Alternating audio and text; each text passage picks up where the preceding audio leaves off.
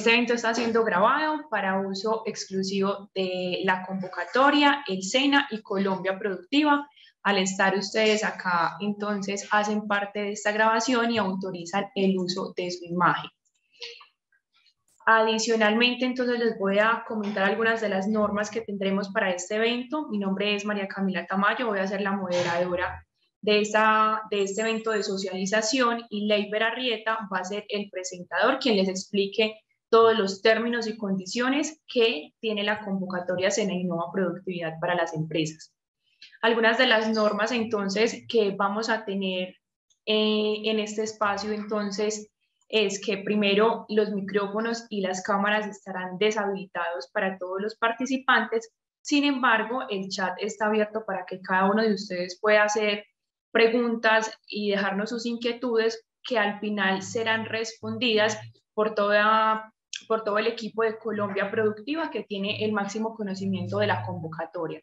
Entonces, durante toda la sesión ustedes podrán dejar sus preguntas desde, desde mi punto, tomaré nota de cada una de ellas y al final resolveremos entonces en, una, en, una, en un espacio de sesión de preguntas todas esas dudas. Adicionalmente, les vamos a enviar eh, un formulario de inscripción y de asistencia que ustedes deberán diligenciar para que toda la información de la convocatoria posterior a, esa, a este evento de socialización les pueda llegar a sus correos electrónicos. Eh, por acá me dicen que el formulario tiene un error, entonces en un, en un minuto yo les voy a enviar un nuevo link para que ustedes se puedan inscribir. Les pido que por favor, si ya se inscribieron, lo vuelvan a hacer en este nuevo link que en unos minutos les voy a compartir a través del chat y recuerden que eh, diligenciar este link es obligatorio si ustedes quieren acceder a toda la información de la convocatoria posterior a este evento. No siendo más entonces, le doy la palabra y la bienvenida a Leiber Arrieta, eh, que nos va a, socializar todos los términos y condiciones de la convocatoria. Bueno, muy buenos días, muy buenos días para todos, eh, para las personas, los colaboradores de Colombia Productiva, para todos los empresarios que están acá y para mis compañeras eh, de WICAM. Voy a empezar entonces a proyectarles. Esta es la agenda que vamos a trabajar en esta mañana, ¿cierto? Vamos hacia las 9 y 20, más o menos, 9 y cuarto, 9 y 20, eh, para luego entrar en esa sesión de preguntas. Acá entonces empezamos con la parte introductoria vamos a definir pues lo que es el Innova, el SENA, eh, lo que es el concepto del SENA, eh, que es Colombia Productiva, eh, el convenio entre Colombia, entre el SENA y Colombia Productiva, y lo que tiene que ver pues con, con el alcance de la convocatoria, el enfoque sectorial, algunos ejemplos que estamos a, vamos a socializar con ustedes, en las personas o las empresas mejor, personas jurídicas que pueden participar, las condiciones de presupuesto, el enfoque temático, lo que tiene que ver con la evaluación de la viabilidad, monogramas, la plataforma por la cual se pueden postular. Vamos a compartirle algunos casos de éxito, eh, algunas recomendaciones para una participación más efectiva, el paso a paso, ¿sí? Y sesión de preguntas, ¿cierto? muy bien. ¿Qué es SENA Innova? Es básicamente pues, el programa creado para apoyar estos proyectos de desarrollo tecnológico, de sofisticación e innovación en el sector productivo. El SENA, pues todos sabemos la institución que es el SENA, lo que representa, eh, la formación que hace el SENA a nivel técnico, tecnológico. Es una institución pues supremamente querida por los colombianos. Eh, ese es el SENA, pues que, que, está en esta parte de convenio también. Colombia Productiva, eh, no va a permitir detallar lo que es Colombia Productiva. es una entidad del Ministerio de Comercio, Industria y Turismo, administrada por Fiducoldes, creada en el año 2008 con el fin de promover la productividad y competitividad en la industria y los encadenamientos productivos para fortalecer cadenas de valor sostenibles. Busca eh, Colombia Productiva estrategias público-privadas que permitan el aprovechamiento de ventajas comparativas para afrontar los retos del mercado global, para fortalecer las capacidades empresariales, la sofisticación, la calidad y el valor agregado de los productos y servicios. Esto es Colombia Productiva. Algunos desafíos de productividad en las empresas. Vamos a, mirar algunas cifras acá que son bien relevantes, bien importantes para que ustedes vayan interiorizando toda esta información. Temas importantes como sostenibilidad, que es un tema tan vigente, el tema de consumo energético, la calidad, sofisticación, transformación digital, logística de procesos productivos. Esos son como los, los temas o los desafíos que se tienen. En el tema de sostenibilidad, miren, 3 de cada 10 empresas cuentan con un sistema de gestión ambiental con recursos asignados, metas e informes de sostenibilidad. En tema de transformación digital, por ejemplo, que es un tema que ahorita con la pandemia hemos aprendido muchas cosas. Hay empresas que aún incluso no han incursionado, que es el primer paso en el tema digital. La transformación digital es un paso más adelante, un paso adicional. Entonces, la transformación digital, solo el 35% de las empresas trabajan en implementar o fortalecer sus canales digitales, ¿cierto? Eh, solo el 22% de las empresas tiene certificaciones de calidad de procesos, según una encuesta pues, de eh, desarrollo e innovación tecnología del DANE. Entonces, cifras que son bien relevantes y que hay que tener presente para, eh, digamos, avanzar en este propósito que se tiene. Eh, la importancia de la sofisticación de la oferta bajo los niveles de sofisticación y diversificación son la segunda causa de estancamiento de la productividad en Colombia.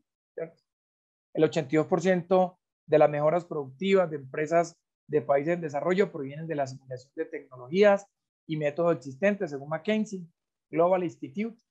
Eh, importante eh, información relevante ahí también. El convenio entre el SENA y Colombia Productiva. Voy a permitirme leer como, como el objeto, pues está creado para aunar esos esfuerzos técnicos, administrativos y financieros que contribuyan al aumento de los niveles de innovación y productividad por medio del uso y adopción de conocimiento y tecnología a través de la cofinanciación de proyectos, de empresas y encaramientos productivos. Esa es la, la, situación por la cual, o el objeto por el cual este convenio entre el SENA y Colombia Productiva. Acá entonces, eh, lo que tiene que ver con la convocatoria, vamos entonces a mirar eh, la cofinanciación, ¿cierto? Cuando hablamos de cofinanciación, voy a buscar esto acá. Eh, entonces, cofinancia, eh, la cofinanciación de los proyectos, primero, pues es promover la sofisticación de la innovación de procesos, productos y servicios de las empresas. Segundo, aumentar el desarrollo tecnológico empresarial. Y tercero, transferir y apropiar tecnologías, conocimientos, diseñar, aplicar y desarrollar buenas prácticas. Para el convenio, entonces, entre SENA y Colombia Productiva, hay unos recursos destinados de 18 mil millones de pesos. La duración del proyecto va hasta 12 meses y la meta es de entre 40, de 45 a 90 proyectos. Acá está distribuido esa, digamos, esos presupuestos, el presupuesto de los 18 mil millones a nivel de enfoque sectorial está entonces distribuido en varias zonas eh, del país, ¿cierto?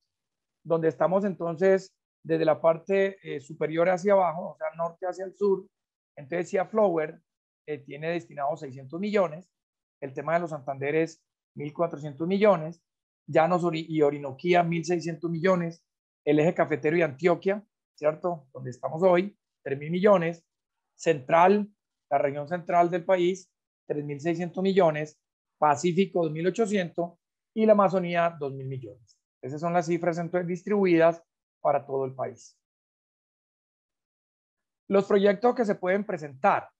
Entonces, eh, Primero, pues sofisticación de productos y o servicios y segundo, sofisticación de procesos.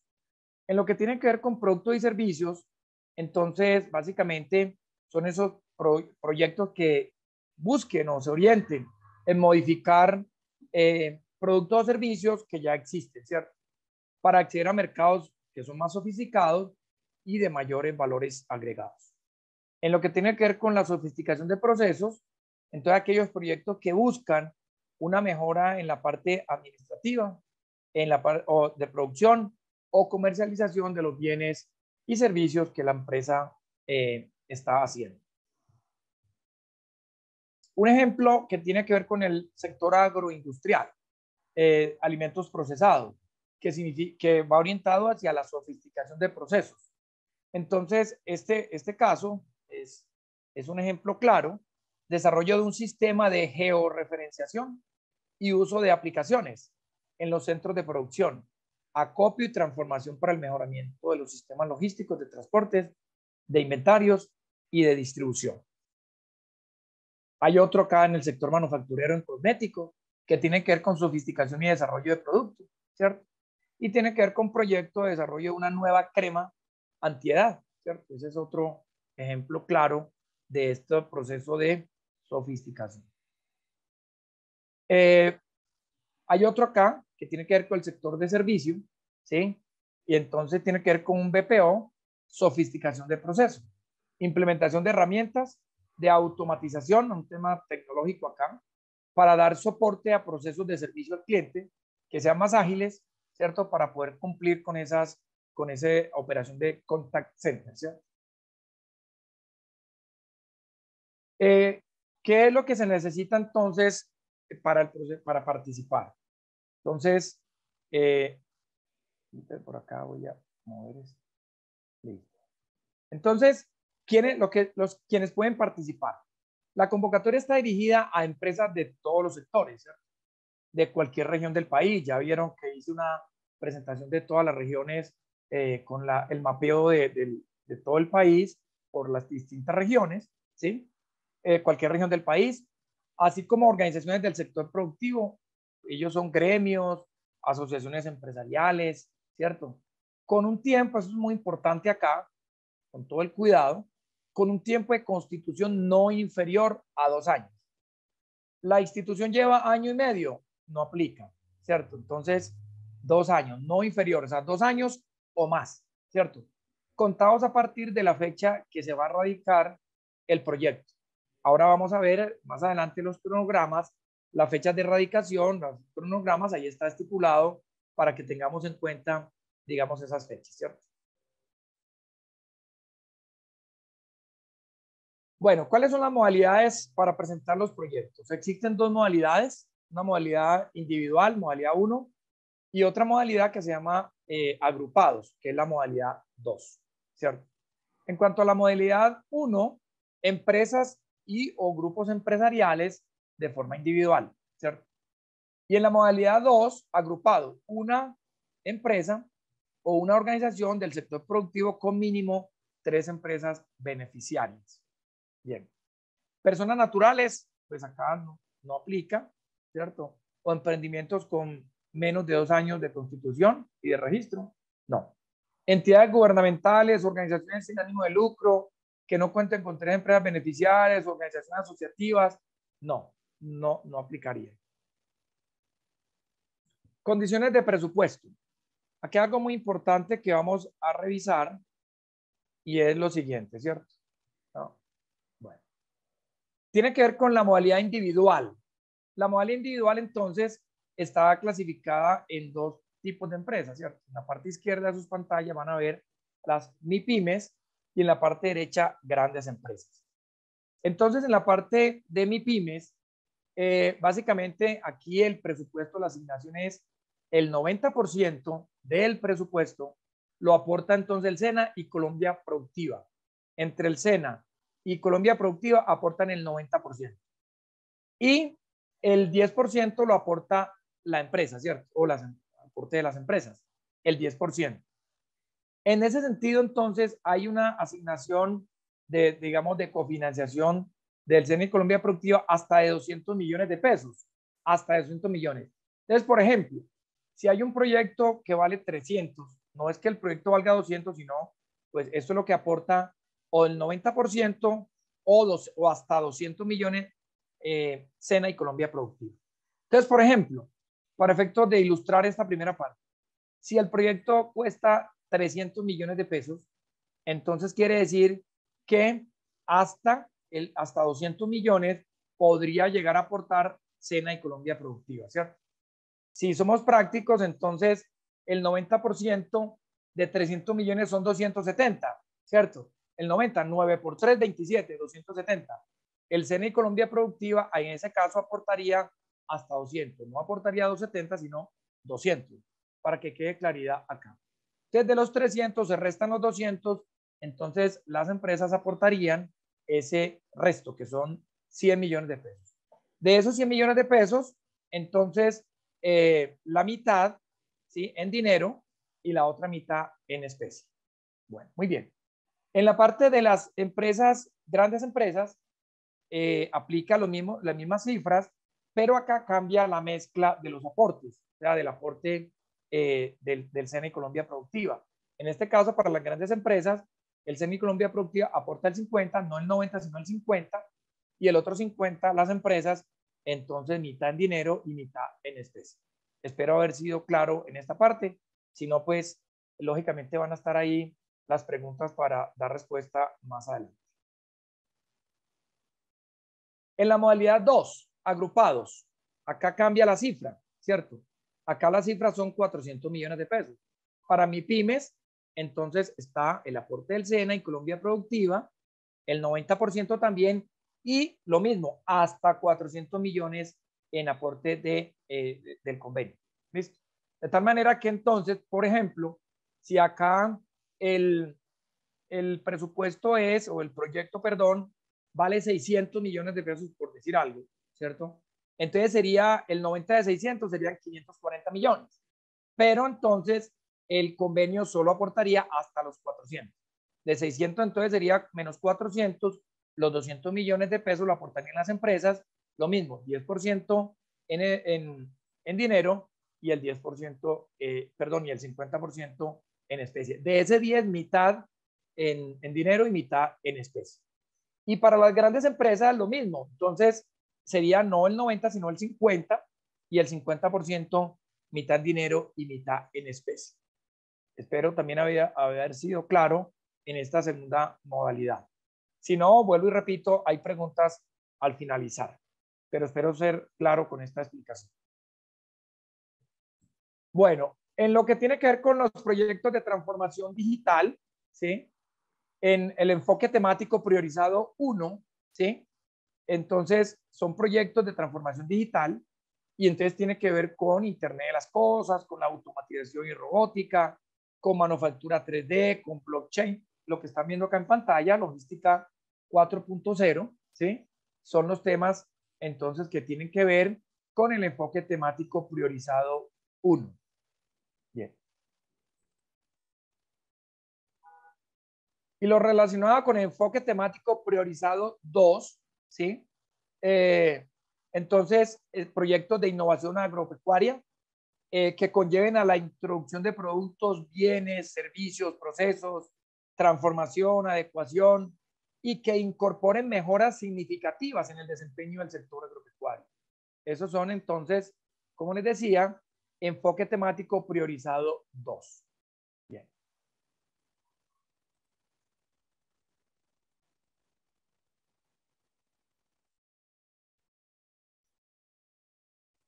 El enfoque temático priorizado 3, ¿cierto? Eh, tiene que ver entonces este con los proyectos de bioeconomía y negocios verdes, enfocados en el uso eficiente y sostenible de la biodiversidad, biomasa, eh, biomasa residual, nuevos productos, procesos y servicios de valor agregado, ¿cierto? Tienen que ver entonces con biotecnología, nanotecnología, las tecnologías de información y la comunicación, entre, entre otras.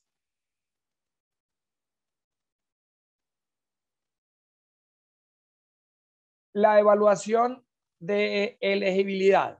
¿Cuáles son los requisitos habilitantes jurídicos para modalidad 1 y para la modalidad 2 agrupado? Modalidad 1, recordemos, individual, modalidad 2, agrupado. Entonces, la modalidad 1, persona jurídica legalmente constituida en Colombia, con un tiempo de constitución de registro no inferior a los dos años, que ya lo habíamos dicho. Persona jurídica que desarrolla alguna actividad económica, estar al día en el pago de aportes del sistema de seguridad social y acreditar el tamaño de la empresa. La modalidad 2, agrupado, eh, tanto la empresa ejecutora como las empresas beneficiarias, recordemos que es una ejecutora y tres beneficiarias, deben ser personas jurídicas legalmente constituidas, todas, con un tiempo mínimo de dos años anteriores a la radicación del el proyecto de convocatoria. Bien, la elegibilidad, ¿cierto? Evaluación de elegibilidad. Requisitos habilitantes técnicos en esa misma evaluación. Postular entonces un proyecto, ¿sí? Orientado al objeto y enfoque técnico eh, de la presente convocatoria que cumpla con las condiciones establecidas, ¿cierto? Esto es, eh, perdón que aquí, Bueno, eh, orientado al objeto y enfoque técnico de la presente convocatoria, que cumpla con condiciones establecidas. El proponente solo podrá registrar un proyecto en la plataforma. Eh, estar inscrito en el portal Compra lo Nuestro. Compra lo Nuestro, entonces, es la estrategia del gobierno nacional liderada por Colombia Productiva del Ministerio de Comercio, Industria y Turismo, que conecta proveedores y compradores para facilitar el comercio en Colombia. Ahí entonces está un espacio, eh, eh, pues, el, digamos, el, eh, donde puedes hacer la, inscripción, cómpralo nuestro, www.compralonuestro.com. La inscripción entonces en Cómpralo Nuestro es, es, muy fácil, es sencilla, simplemente es ingrese ahí al link y hace, hace su inscripción. ¿Cuáles son los requisitos eh, habilitantes financieros en este proceso de elegibilidad? Usted lo, tiene cuatro requisitos importantes. El primero, contar con recursos en efectivo. Recordemos que del aporte del 10, de ese 10%, el 50% de ese 10, la mitad, debe ser en efectivo. Entonces, primero, pues contar con esos recursos en efectivo, ¿cierto? Eh, segundo, contar con esos indicadores financieros al 31 de diciembre del año 2021, año anterior. Tener esos indicadores que en la convocatoria están determinados cuáles son. Tercero, demostrar ventas, ¿sí? O ingresos operacionales en el año inmediatamente anterior, año 2021. Y el cuarto requisito, ¿sí? Contar con un mínimo de dos empleados al momento de la presentación de la propuesta.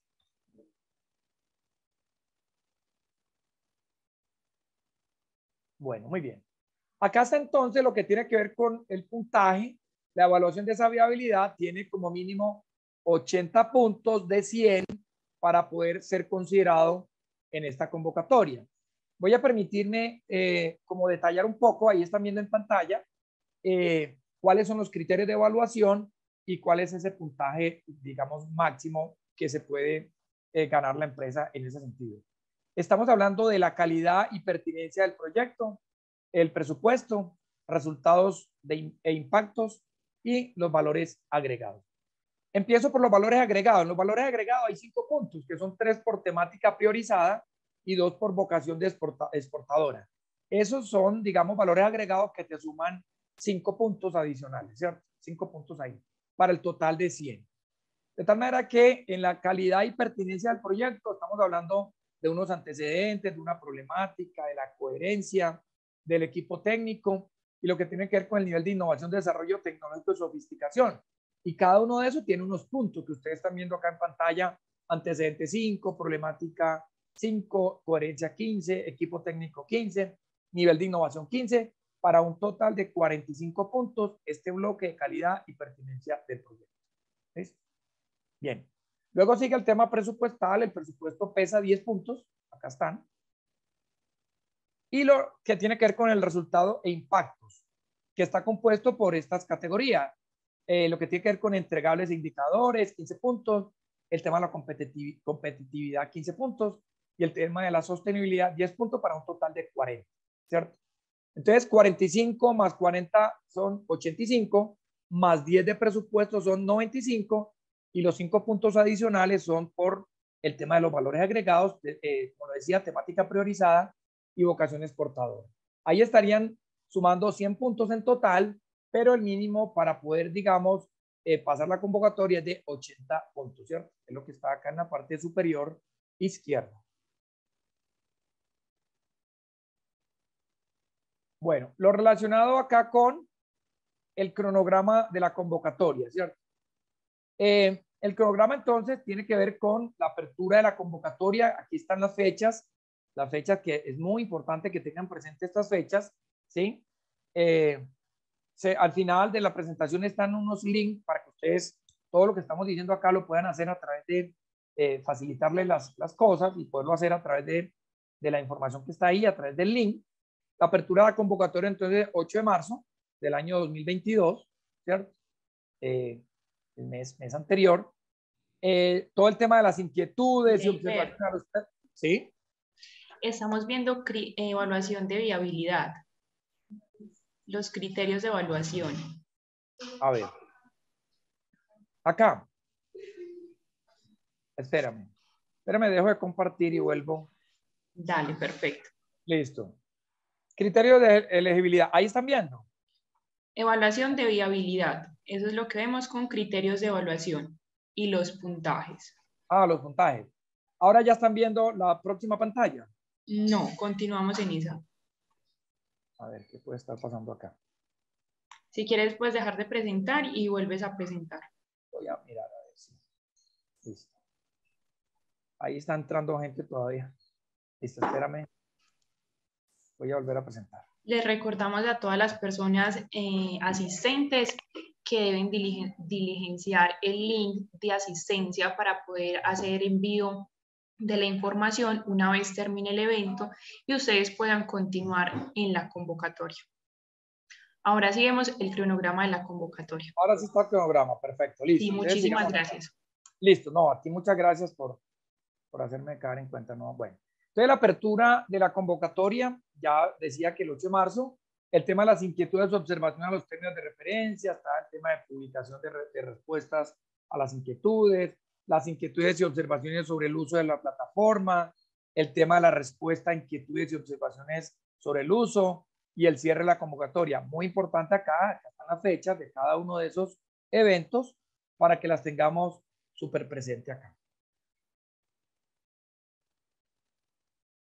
Bueno, eh, seguimos acá. Entonces, eh, periodo de subsanación eh, para preliminar de proyecto, la publicación de los resultados eh, digamos, preliminares de la elegibilidad, el periodo de observaciones, la publicación de los resultados definitivos, importante esta fecha, miren, 28 de julio, el tema de publicación de resultados, el tema de periodo de observación a los resultados preliminares y el tema de la publicación de resultados definitivos de viabilidad y aprobación de proyectos. Esta, digamos, es la fecha definitiva. Este es el 29 de agosto del año 2022, para que lo tengamos súper en cuenta ahí. Bueno, muy importante esto, el tema del manual de uso. El manual de uso lo deben leer porque incluso cuando vayan ustedes a hacer todo el proceso de diligenciamiento de la información, tener el manual de uso a la mano. Pues yo qué haría si yo fuera a hacer esto? Yo lo que haría es leérmelo muy bien primero, luego entrar a tratar de hacer el ejercicio, pues o hacer, a tratar no hacer el ejercicio y tener el manual de uso también a la mano, ¿cierto? para poder entonces eh, tener como los detalles y los criterios para poder procesar la información. Es muy fácil, simplemente es tener ese paso a paso, pero pues, repito, es muy importante que hagan el ejercicio de leer ese manual de uso. La plataforma que se va a usar es Salesforce, ¿cierto? Es una plataforma de Microsoft. Eh, acá está el link, ¿cierto? Para entrar directamente allá, para poder hacer el registro. Entonces acá está un usuario, una contraseña, hay que, hacer ese, eh, hay que hacerlo para poder entonces hacer el ingreso, el registro de toda la información de tu empresa, ¿cierto? Acá están pues cada uno de los datos, municipio, el sitio web, toda la información que debe registrar, ¿cierto? Sector de la empresa, el NID, tipo organización, absolutamente toda la información que muy bueno tener la información también de tu empresa pues a la mano para poder que sea más ágil el proceso, digámoslo así. Entonces acá eh, hay, digamos, unas, una, unas, eh, una modalidad de inscripción, el, digamos, la parte individual, o sea, el SENA innova a nivel de la, del ingreso del registro de empresa individual y a través de los agrupados. Ya sabemos que es una empresa y tres empresas que están alrededor de esa empresa para, las, para esa modalidad, segunda modalidad.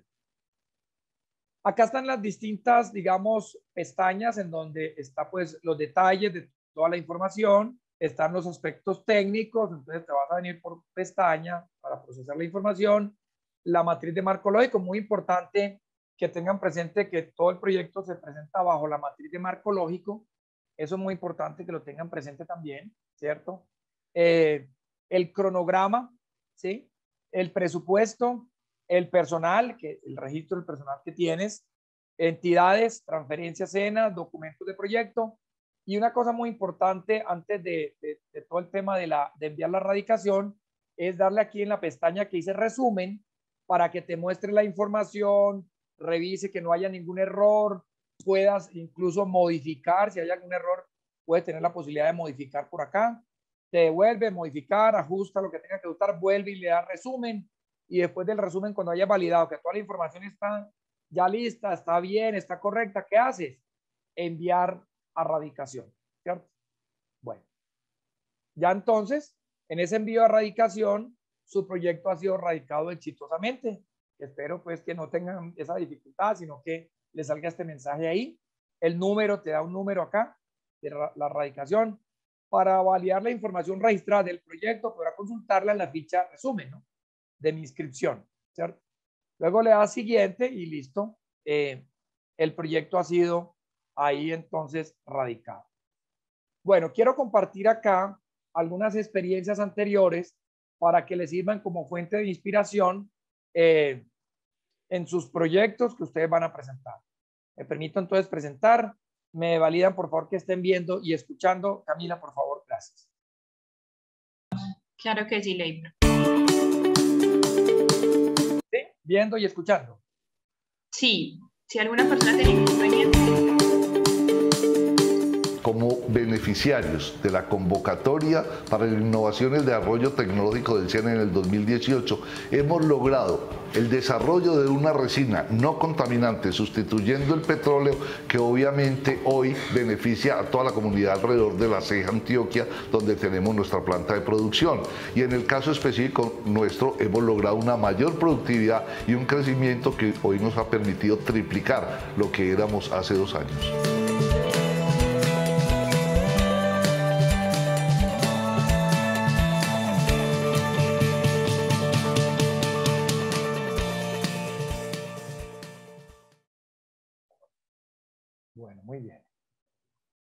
Compartir entonces la, siguiente. Vamos a compartir por acá otra experiencia. Industria Brahma nace desde hace 12 años. En ese tiempo hemos tenido la oportunidad de ir a sitios alejados como la vereda Cisbaca en el municipio de Aquitania, en donde conocimos familias que no cuentan con electricidad. Allí nosotros aplicamos la innovación, tecnología y nuestros conocimientos a través del impulsor de cerca eléctrica integrándole soluciones de energía solar para que ellos tengan tecnificación, iluminación y comunicación. No solamente estas familias sufren de este problema, 570 mil familias a nivel nacional tienen este mismo problema. Es por eso que nosotros quisimos consolidar nuestra eh, idea de negocio a través del SENA, recibimos recursos para poder patentar nuestros productos, poder expandirnos a más de 12 departamentos, exportar a cuatro países, generar 28 empleos y poder llevar este tipo de soluciones a muchas viviendas rurales.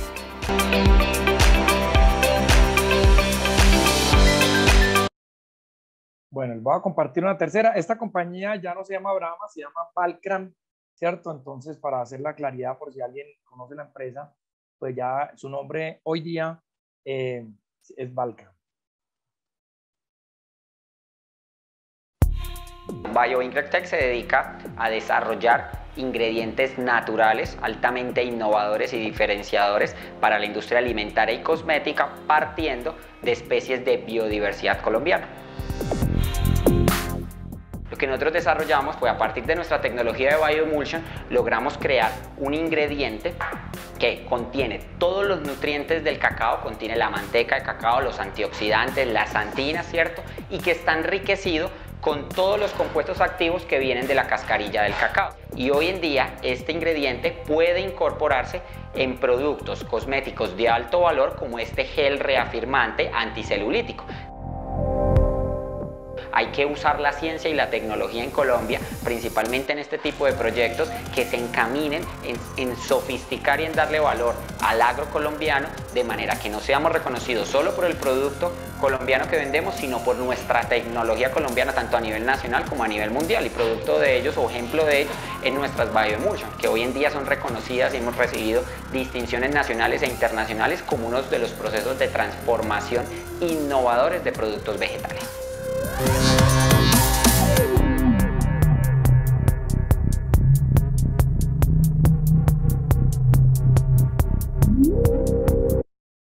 Bueno, muy bien, allá, allá esos tres casos, ejemplos que queríamos compartirle. Bueno, algunas recomendaciones ya para entrar en la parte, en esta parte final.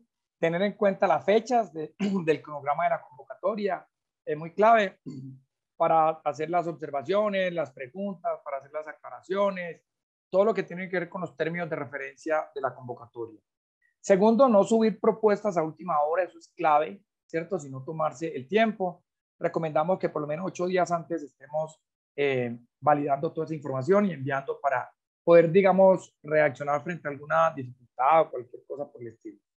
Verificar con, la con lupa toda la información registrada, registrar la información en la plataforma con el manual de uso de la plataforma en la mano, que era lo que recomendábamos hace un momento, leer las preguntas frecuentes que estarán subidas en la página web. Y formular eh, eh, formular el proyecto antes de postularse en la plataforma. Acá entonces, ¿cuál es el paso a paso, paso a seguir? Entonces, primero, pues registrarse en Compra lo Nuestro. ¿sí? Ese es el primer paso. Segundo, registrar y asistir a los talleres de orientación. Tercero, formular su proyecto previamente. Cuarto, inscribir su empresa a la plataforma. Y quinto, postular su proyecto a la plataforma. ¿cierto? Entonces, ese paso a paso que debemos tener presente para lograr un buen resultado. Acá están entonces el cronograma de eventos virtuales y la socialización de la convocatoria. El 24 de marzo fue en Amazonía, hoy 5 de abril, Antioquia y Eje Cafetero, y ahí están las distintas fechas para las otras poblaciones del país, ¿cierto? Bueno, muy bien. El cronograma de capacitaciones virtuales a nivel nacional, bajo la metodología, acuérdense, de marco lógico, ¿cierto? Eh, tiene cinco módulos. Los cinco módulos pues están acá claramente detallados. ¿sí? El primer módulo tiene que ver con esos aspectos generales de la convocatoria, las bases conceptuales, eh, de la metodología de ese marco lógico. Es muy clave, eso es el 8 de abril, ¿cierto? A las 8 de la mañana, más o menos unas dos horas y media. El módulo 2, eh, la pauta metodológica para, para parte 1, análisis de problemas y objetivos. 18 de abril a las 8 de la mañana también. Módulo 3, pauta metodológica parte 2, matriz de riesgo, indicadores, medios de verificación, supuestos, elaboración de presupuesto y cronograma. 22 de abril, 8 de la mañana.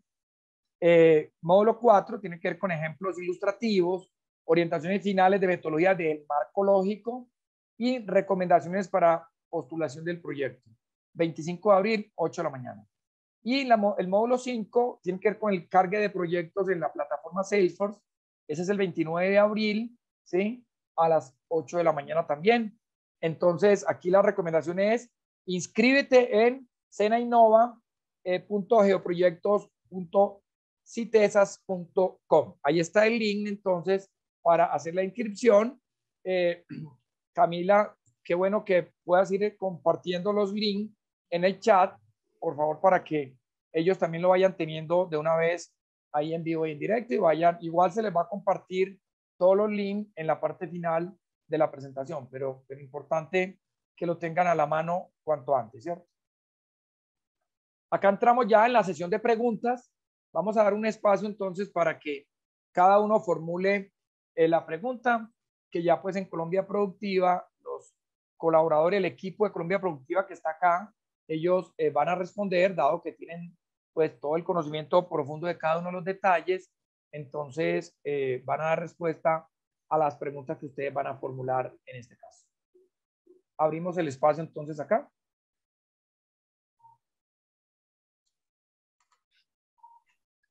Camila, bueno, entonces inicialmente vamos a dar un espacio para que ustedes puedan diligenciar el formulario. Si alguna persona tiene problemas para diligenciarlo, entonces por favor me envían los datos en un solo mensaje a través del chat y yo hago personalmente el registro de cada una de las empresas. Entonces les voy a compartir por acá los datos que ustedes deben llenar y me los envían por el chat, yo los registro. Vamos a dar entonces unos tres minutos para esto.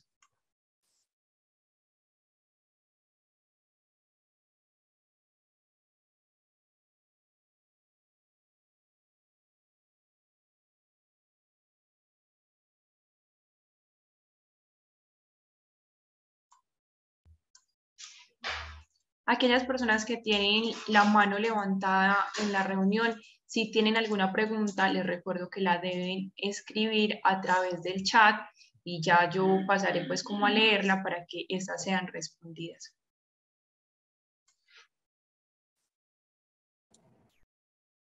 Bueno, me siguen diciendo por acá que no les permite a algunas, algunas personas enviar o llenar el formulario, entonces les recuerdo que les envíe un mensaje con esas preguntas o esos datos que ustedes deben contestar y a través de el chat en un solo mensaje ustedes me hacen el envío de esos datos y yo los registro dentro del link de asistencia para que puedan seguir participando en la convocatoria.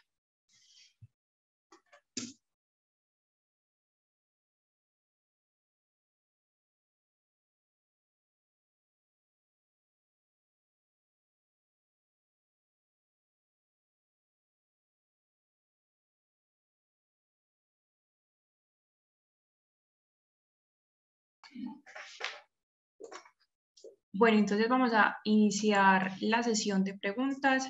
Eh, les recuerdo primero que ya les envié nuevamente los datos que ustedes pueden diligenciar en el chat para hacer el registro de, de forma manual acá nosotros en el equipo. Entonces, la primera pregunta para todo el grupo de Colombia Productiva es, una empresa que fue elegida para la convocatoria 2021 y luego de la ley de garantías ejecutar el proyecto de Sena Innova, se podrá postular a esta convocatoria.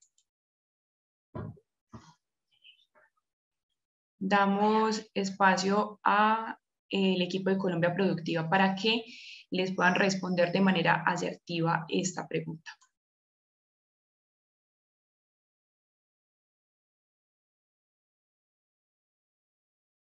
Camila, ellos van a responder vía eh, micrófono o por escrito también. Por el micrófono ya eh, tienen acceso entonces para que puedan responder esas preguntas.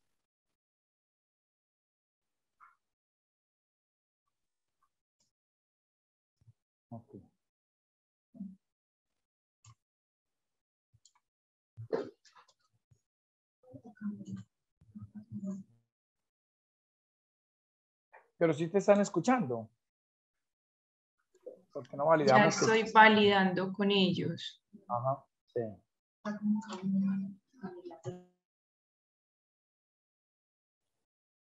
Hola, buenos días, ¿me oyen? Sí, te escuchamos bien. Ya, es que no nos dejaba habilitar el micrófono. ¿Me repites la pregunta, por favor? Dale, por favor, entonces, de una sola persona que nos responda la pregunta. Muchas gracias. La pregunta es, una empresa que fue elegida para la convocatoria 2021 y luego de la ley de garantías ejecutar el proyecto de Sena Innova, ¿se podrá postular a esta convocatoria? Sí puede presentarse, o sea, no hay restricción para que las empresas se presenten nuevamente. Lo importante es que se presente con un proyecto diferente. No puede presentar el mismo proyecto otra vez, sino que tiene que presentar un proyecto diferente esta convocatoria, esta segunda versión. Perfecto.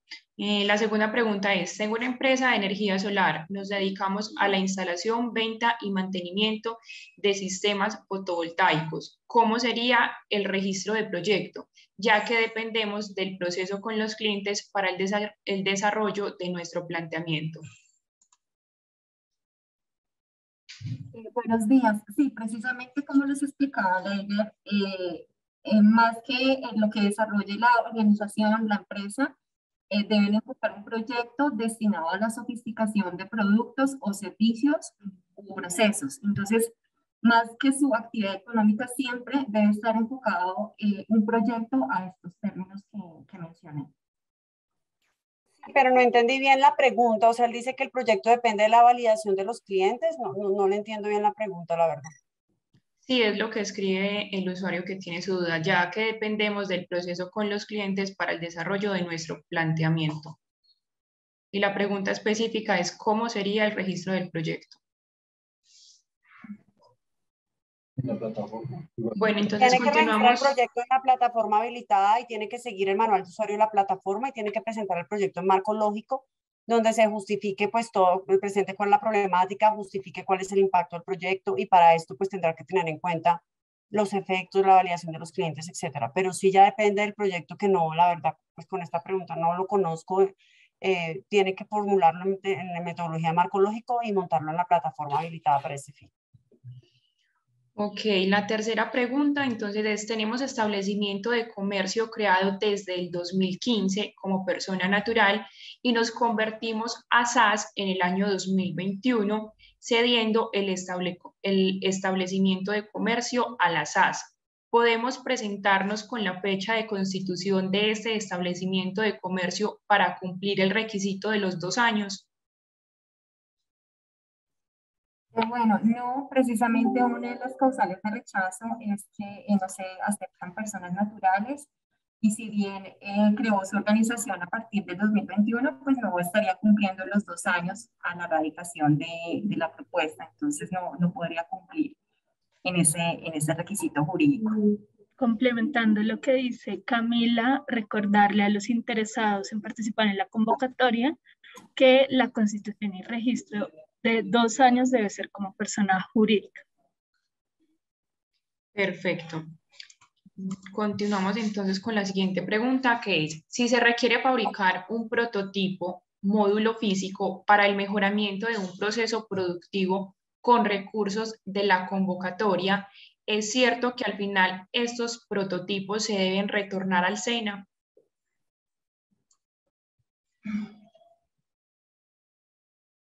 Perdón, ¿me escucharon la pregunta?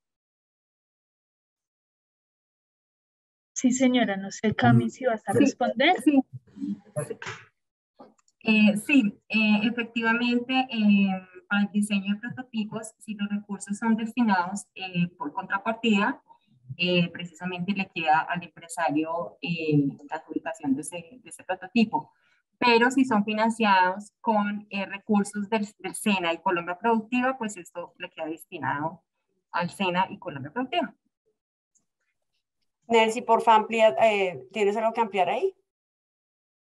Eh, sí, recordar que como una de las obligaciones del contrato que se suscriba con Colombia Productiva es justamente la entrega de prototipos al finalizar la ejecución del proyecto, si estos eh, prototipos han sido financiados con recursos de cofinanciación. Ok, entonces continuamos. Es el alcance del concepto de sostenibilidad que califica 10 puntos.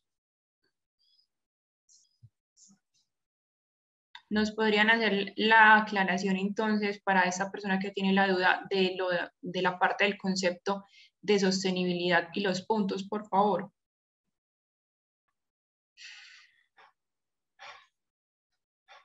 Sí, danos un segundo, por favor. Claro que sí.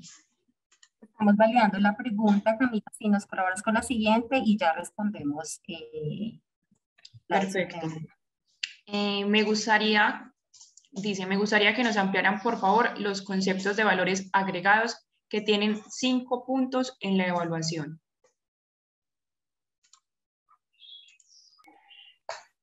Hola, no me Hola, ¿ya me oyen? Sí, te escuchamos perfectamente. Sí, pues 10 puntos tiene la evaluación. Recordar que esta evaluación va a ser ejercida por una firma eh, contratada, un tercero contratado por Colombia Productivo, como por Colombia Productiva. Realmente ahí lo que se evalúa es mirar qué sostenibilidad tiene el proyecto, los resultados del proyecto, cómo se van a sostener en el tiempo, si tuvo que contratar personal, cómo se va a tener que, cómo se puede sostener ese personal en el tiempo. Es decir, esto es una evaluación ya que realiza el evaluador en diferentes ámbitos, pero realmente lo que se mira es y se le dará un puntaje a cómo el proyecto justifica su sostenibilidad en el tiempo, no que después de que ya no tiene los recursos de cofinanciación el proyecto queda ahí, sino que el proyecto, su resultado, su impacto va a poder sostenerse en el tiempo. Es lo que tiene que demostrar el empresario y eso va a tener un puntaje máximo hasta de 10 puntos. Y la otra era valor agregado. Sí. valor agregado, sí, sí, Erika. No, ahí es valores agregados, es decir, que se, ahí en la izquierda en la evaluación de viabilidad hay una pestaña, pues, o un criterio que se llama valores agregados. En esos valores agregados, lo que se califica es, se le da tres puntos adicionales a las empresas y presentan un proyecto en temáticas priorizadas, es decir, en innovación agropecuaria, en temas de transformación digital, industria 4.0, o en temas de bioeconomía y negocios verdes, obtienen un puntaje adicional. Ese es como el valor agregado al proyecto. Los proyectos deben ser de sofisticación, y desarrollo tecnológico para cualquier sector, pero si es de esas tres temáticas, se considera que tiene un valor agregado y se le asigna un puntaje adicional y también obtienen un puntaje adicional de dos puntos eh, si el proyecto justifica que tiene una vocación exportadora. Esos son como los valores agregados que se califican al momento de la evaluación de viabilidad. Perfecto. Eh, la siguiente pregunta es, ¿Hay algún acompañamiento personalizado para las empresas en cuanto a validación de textos, proyectos, cronogramas y otros que surgen en la formulación? Ahí hay, dos canales. Primero tenemos contratado una firma orientadora, eh, que es la unión temporal entre la Universidad Tecnológica de Pereira y Operation Research for Smart Cities. Esta firma orientadora, y pueden encontrarlo en nuestra página web o lo pueden proyectar aquí también, creo que lo tienen en la presentación, tiene un cronograma de capacitaciones a nivel nacional. Esas capacitaciones a nivel nacional cuestan de, constan de 12 módulos y en cada una van a mirar paso por paso cómo se formula el proyecto, cómo es la matriz de marco lógico, cómo se plantea el problema, el objetivo general, específicos, actividades, productos, etcétera. Aquí, pues, las empresas pueden postularse de manera gratuita, inscribirse y participar en esas capacitaciones a nivel nacional. Hay unas capacitaciones para unos departamentos en específico también. Eh, que pues aquellas empresas que no pudieron asistir porque hay unos cupos limitados, también pueden acceder a esos departamentos donde pues es probable que se conecten menor número de personas y todos también puedan acceder a esas capacitaciones. Adicionalmente, em, las empresas pueden formular proyectos, eh, preguntas, perdón, em, hasta mayo, verifícame la fecha, Camila, ya les digo en qué fecha, pueden formular preguntas sobre postulación del proyecto, es decir, sobre la matriz de marco lógica o preguntas técnicas. ¿Sí? ¿Quién se fue? Hola, por favor apaguemos los micrófonos. Eh, las empresas tienen eh, todavía plazo para hacer preguntas sobre, sobre la formulación de proyectos, preguntas técnicas, entonces también a través de un formulario disponible que tenemos en Google, las empresas pueden entrar a preguntarnos eh, dudas específicas sobre, ya cuando estén postulando sus proyectos, preguntas técnicas. La asesoría, como les digo, esta asesoría va, sí va a haber una orientadora en marco lógico, es grupal debido a que pues a nivel individual se presentan muchos proyectos. En la versión primera, tuvimos más de mil postulaciones, entonces realizar y asesorías uno a uno por proyecto realmente es, es muy difícil de abarcar, pero sí se van a hacer capacitaciones grupales. Eh, no sé si ubican, tienes ahí el cronograma de la orientadora, o podemos ponerles en el chat el link de inscripción para que se inscriban en las capacitaciones y en las eh, orientaciones que van a hacer sobre marco lógico. Sí, por supuesto. En un rato entonces se los em, adjuntaremos en el chat. Quisiera, por favor, que hagamos énfasis, ya que varias personas han realizado esta pregunta, entonces para que, por favor, nos des claridad sobre cuánto tiempo debe tener la empresa de constituida para poder registrar el proyecto que lo respondiste antes, pero entonces para que por favor lo tengamos muy claro. Debe tener dos años de constitución o registro. Perfecto. Continuemos. El parámetro blockchain se refiere al desarrollo o creación de uno o a la adaptación del proyecto a un blockchain ya existente.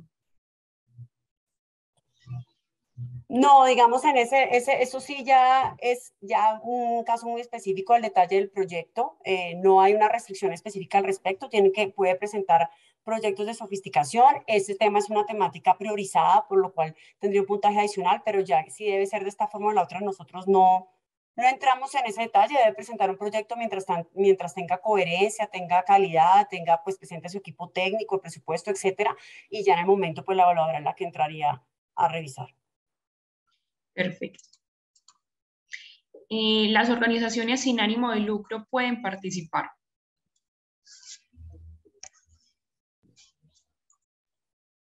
Sí, efectivamente. Dale, dale, Camila. Sí, Y efectivamente pueden participar. Eh, se recomienda, pues, eh, la, la, única opción sería en la modalidad 2, que es agrupados. Esta entidad sin ánimo de lucro sería una, eh, la, la, entidad ejecutora y tendría que traer tres empresas beneficiarias para poder aplicar a la presente convocatoria. Perfecto. Eh, nos dicen que tienen dudas sobre el tema de derechos de autor. Los términos de referencia hablan de que se respetan los derechos morales, pero no es claro para mí qué ocurre con los patrimoniales. ¿Podrían contarnos un poco sobre el tema? Buenos días, sí señora. Eh, los términos de referencia no contemplan hoy restricciones frente a los derechos patrimoniales. Eh, por lo tanto, pues estos quedan a cargo del ejecutor del proyecto, como lo señala el numeral 10.29 de los términos, que pues les recomendamos lo revisen en detalle en el documento. Perfecto. Eh, ¿Bajo qué términos se puede incluir en el proyecto la renovación o modernización de maquinaria para una línea de producción de un producto que ya esté en el mercado? Eh, estos se podrían incluir en los rubros de cofinanciación. Eh, labor, si de pronto tienes ahí en la presentación, eh, ya te digo para mostrarles a todos cuáles podrían ser. sí, perfecto. Déjame, ya voy a compartir. ¿Me permiten compartir pantalla, por favor? Que no me está dejando. Slide 23. Sí, sí, pero a ver, espérame que ya voy para allá. Espérame un segundo. Ya me está dejando compartir la pantalla. Listo, voy a... A ver. Ya están viendo mi pantalla, ¿cierto? Sí, señor. Señor. Cuatro. ¿La cual me, dijiste? ¿23? No. 24. 24. Entonces, allí vemos los rubros de los cuales eh, se incluye precisamente las inversiones en planta, la adecuación de infraestructura. Y eh, también se incluye la adquisición de... No se te oyó bien, Camila, por favor, ¿lo repites? No se lo está escuchando. No, no se me está escuchando. Bueno, en, este, en, este, en esta presentación están los rubros de contrapartida. ¿Ahí me escuchan mejor? Sí, sí. Sí. Eh, los rubros de contrapartida en los que está incluido efectivamente eh, sobre la pregunta que estaba haciendo el empresario en adquisición de equipos y de software, los cuales pueden deberán ser identificados directamente con la naturaleza del proyecto. Entonces, eh, digamos que en, este caso sí incluiría. Siguiente pregunta. Perfecto. Entonces, la siguiente pregunta es que si pueden explicar un poco el tema de la contrapartida. Por ejemplo, cómo se daría el tema en especie y qué podría entrar como dinero. Eh, precisamente ahí, eh, en ese pantallazo que estamos mirando, rubros de contrapartida, el eh, si me colaboras. Empecemos con la 23 para que los empresarios sepan qué rubros se van a aceptar como cofinanciación o como contrapartida 23, anterior, dos, a, dos arribita. Ya. Otra, anterior. No. ¿No la tienes? Espérame. Espérame un segundo, por favor. Puede estar oculta. A 23. De igual manera, pues todo el, el, tema de rubros de contrapartida y cofinanciales, es lo que definitivamente no se va a cofinanciar, todo esto está eh, debidamente escrito en, en los términos de referencia. Acá Entonces, Bueno, sí, señor. Listo. En, este, en, este, en esta pantalla estamos mirando los rubros eh, financiables y de contrapartida. ¿Cuáles pueden ser? Entonces, estamos hablando de costo de personal técnico o costo de personal eh, especializado, técnico especializado o no calificado, aplica para eh, rubros. Es decir, que en la contrapartida cuando se habla del 50%, eh, del 10% y de ese 10% mínimo debe ser el 10%, el 50% en efectivo y el otro 50% en especie, entonces eh, podríamos incluir en especie para em, contrapartidas, estos rubros, estos también serán financiables por eh, Colombia Productiva y SENA. Eh, son costos de personal especializado, gastos de administración, arrendamiento de equipos, insumo de materiales, publicaciones, el costo de personal no calificado, costos de transferencia de conocimiento y tecnología al SENA, gastos de servicios tecnológicos, gastos de normalización, certificación y registro, todo lo que es el tema de, registro Lima, gastos de patentamiento de los resultados, eh, los diseños de prototipo que ya nos habían eh, preguntado, y el acceso a la información especializada requerida para el desarrollo específico de los resultados del proyecto. Esto, entonces, lo podemos aplicar eh, como financiables y, en los rubros de cofinanciables y de contrapartida.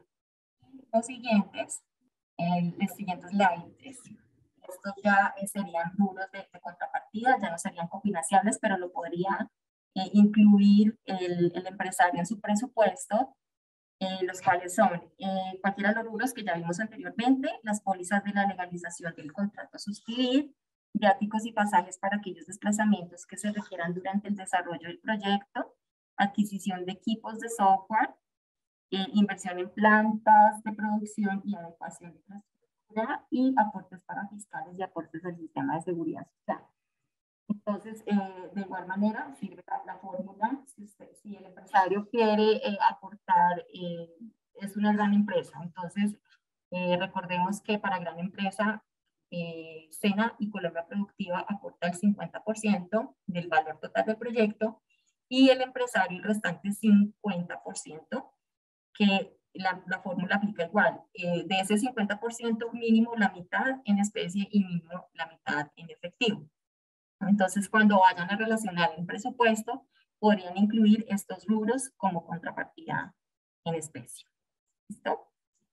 Eh, y la siguiente, la siguiente slide, que esto ya definitivamente para que lo tengan en cuenta en, en la formulación de su proyecto, específicamente en el presupuesto, eh, no se incluirán ni como contrapartida ni como cofinanciación, compras de lotes o construcción de, bueno, asistencia a seminarios o cualquier tipo de formación académica, pagos de deudas, dividendos o recuperación de capital, capital de trabajo para producción corriente. Perdón, Camila, no se te escucha se te está yendo la, la... ¿Hasta dónde me escucharon? Bueno, repito, eh, en estos rubros no hacen, em, no son parte ni, de, ni cofinanciables ni, ni, de contrapartida, es decir, que no se podrán cofinanciar eh, para compra de lotes eh, ni construcción, tampoco se van a permitir como, como, contrapartida. asistencia a seminarios tampoco se incluye, pagos de deudas, dividendos, capital de trabajo para la producción corriente, inversiones en otras eh, entidades, compra de acciones de derechos de empresas, mercadeo y comercialización de productos, diagnóstico de estudios sectoriales, locales, regionales, nacionales o de tecnología, pues si vemos que, ¿por qué? Dirán ustedes, pero pues todos son importantes en la organización, sí, pero para el proyecto en temas de sofisticación, de desarrollo tecnológico, pues no, no estaría aplicando. Por eso estos no, no son permitidos ni en contrapartida ni como cofinanciación. ¿Listo? Eh, pues ahí creo que eh, solucioné unas dudas que tenían sobre eh, qué rubros se podrían cofinanciar con el tema de prototipos y con el tema de mm, adquisición de equipos. ¿Listo? Perfecto, muchísimas gracias. Les recuerdo a todas las personas, a todos los asistentes que deben diligenciar el correo cuando por medio del chat envíen todos sus datos, ya que por medio del correo se hará envío de esta presentación. Si desean pues como acceder y tenerla a la mano, entonces por favor, los que ya llenaron el correo en los 12 datos que me han compartido por el chat, no hay ningún problema. A quienes les haya faltado, por favor escriban en el chat su, su correo y el nombre para poder hacerles envío de esta información. Adicionalmente, la grabación estará alojada en el sitio web de la convocatoria para que ustedes puedan acceder en cualquier momento. Y vamos a continuar entonces con otras cuatro preguntas que nos han realizado. La primera entonces es cuánto tiempo hay para ejecutar los recursos recibidos. Eh, estos proyectos tienen un máximo de duración de 12 meses, pero pues es decir, el empresario es el quien sabe eh, qué tanto tiempo dura su proyecto en ejecución. Si dura 3, 4, 8 meses, pues ya lo define el empresario, pero lo máximo permitido en la convocatoria es 12 meses. Perfecto. Otra pregunta que nos realizan es, existen cinco ítems en el aspecto financiero. ¿Hay que cumplirlos todos? Eh, efectivamente, esos requisitos son requisitos de elegibilidad. Entonces, al no cumplir ninguno, pues no estaría pasando a la siguiente etapa de, elegibilidad. Perdón, hay unos indicadores financieros que la empresa llega a los resultados, los, eh, los balances y el estado de resultados y con eso nosotros analizamos si hay dos opciones para validar. Y en unas opciones se tienen en cuenta unos indicadores, en la opción 1 y en la opción 2 se tienen en cuenta otros indicadores. Entonces, dependiendo de, ya con los estados financieros se revisa con cuál de las dos opciones cumple la empresa para ver si cumple con el requisito habilitante financiero. Perfecto. Eh, otra pregunta es, ¿qué documentos se adjuntan para demostrar que se tienen dos empleados a la hora de presentarse a la convocatoria? Em, es un documento muy sencillo, es una certificación por el representante legal donde eh, nos confirme efectivamente que tienen dos empleados eh, al momento de la radicación de la propuesta. Precisar que el certificado debe ser emitido por el representante legal y contador o revisor fiscal, dependiendo cuál sea la figura que le aplique a la empresa. Ok. Eh, nos dicen también, las empresas beneficiarias en la modalidad 2 pueden ser asociaciones de productores agrícolas.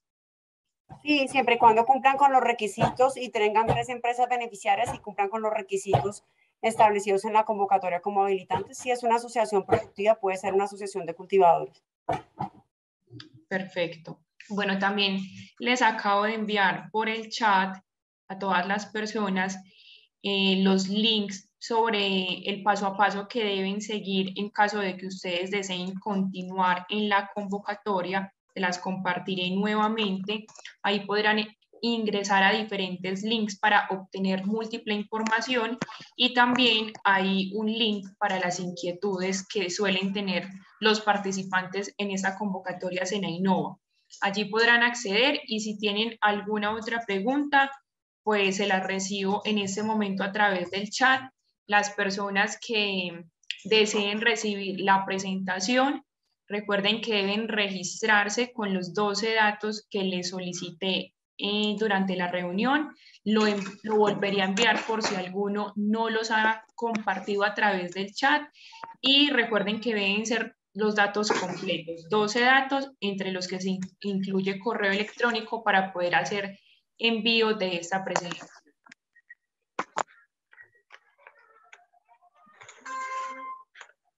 Esperaremos entonces eh, un minuto más por si alguien tiene más preguntas.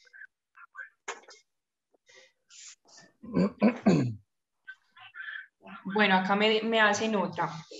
Eh, un proyecto que se haya presentado a la convocatoria de beneficio tributario de MinCiencias, ¿se puede presentar a esta convocatoria? Eh, no limita la presentación de proyectos, em, para ser claros y para que lo tengan en cuenta, en cuenta em, si se, están presentando dos proyectos y se están cofinanciando dos proyectos, eh, no podría aplicar a la presente convocatoria, pero pues en este caso que ya presentaron y ya recibieron recursos, sí podría eh, Tengo todos los calzones afuera, creo. Lo importante es que sea un proyecto diferente. No importa que haya sido beneficiado por la convocatoria. Perfecto, acá nos dicen que el año pasado participaron en esa convocatoria, pero no quedaron elegidos. Y la pregunta es si pueden volver a presentar el mismo proyecto, pero en esta oportunidad con ajustes correspondientes. Si no quedaron elegidos, puede volver a presentar el proyecto. Sí, obviamente, pues con los ajustes correspondientes que, que mencionan, pero sí, como no quedaron seleccionados, el proyecto puede presentarlo nuevamente. Perfecto. Y, a las doce y media y a las cuatro acá. Perfecto. y los micrófonos, los que tienen abierto el micrófono. Gracias.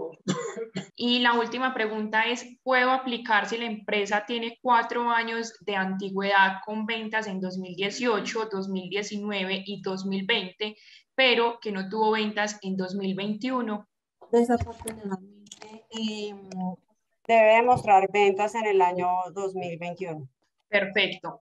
Les recuerdo entonces a las personas que me han enviado el correo de manera individual por el chat que deben llenar todos los datos en un solo mensaje para poder tener el registro de ustedes porque no se envía información a las personas que no hayan suministrado todos los datos, así hayan enviado la dirección de correo electrónico. Por ende, si en esas 12 preguntas que les envié a través del chat, les faltó el correo electrónico, les pido que por favor la respondan todas nuevamente. No vamos a terminar la reunión todavía para que ustedes tengan tiempo de enviarlas por el chat. Sin embargo, entonces damos por finalizado la sesión de preguntas. Bueno, muchas gracias Camila. Eh, vamos a terminar entonces. Señora Luz Elena, por favor, cierra el micrófono. Sí. Cerramos el micrófono, por favor. La persona listo. Que lo tiene... eh, ya desactivamos todos los micrófonos. Muchas Perfecto. Gracias. Entonces, esperamos a todos los empresarios que se postulen con sus proyectos a esta gran oportunidad de crecimiento que les ofrece Sena Innova, Colombia Productiva, eh, Productiva para las Empresas.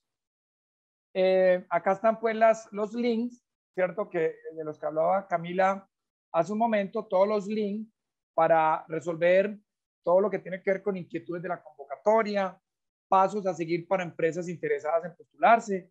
Entonces, estudia los términos de referencia, regístrase en Compra lo Nuestro, inscríbete y asista a los talleres, inscríbete tu empresa en la plataforma y postula tu proyecto. O sea, cada uno de los links están acá. Esta presentación se les va a compartir igualmente los links para que ustedes hagan su inscripción. Agradecimiento muy especial al SENA, Colombia Productiva, a todos los empresarios, a todos los participantes. Eh, les deseo un, un, especial día y espero que hayamos sido muy claros con la información que le hemos suministrado en esta mañana. Muchas gracias a todos. Muchas gracias, Leiber, y muchas gracias a todos los asistentes a este evento de socialización. Les recuerdo entonces que en el chat eh, les compartí los paso a paso que pueden seguir para continuar dentro de la convocatoria y si alguno faltó por registrarse y quiere tener esta información y continuar en el proceso, entonces también seguiremos recibiendo los datos hasta dentro de 10 minutos. Entonces, por favor, Leiber, te pido que no termines la sesión para que aquellas personas que faltan por diligenciarlo lo puedan hacer. Muchísimas gracias a todos, les deseamos un feliz día de parte de Sena Innova Productividad para las Empresas.